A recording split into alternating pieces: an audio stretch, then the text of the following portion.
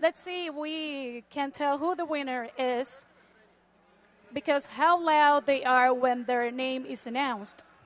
The 2011 Technology Energy Award goes to Team 79B, Team Crunch.